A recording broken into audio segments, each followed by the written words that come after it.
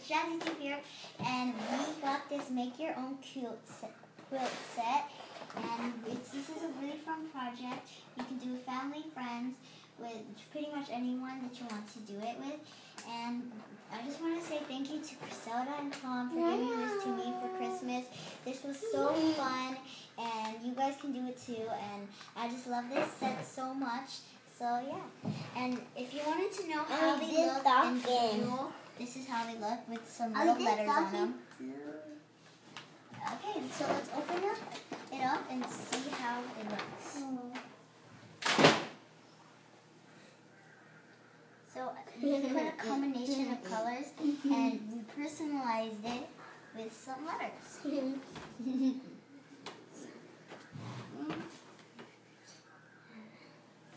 And right here I put Jazzy Tube and the first Love to, tube is a heart.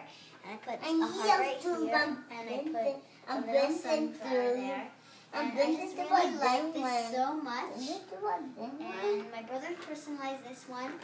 And I just love this so much. And this is a fun activity that you can do with anyone.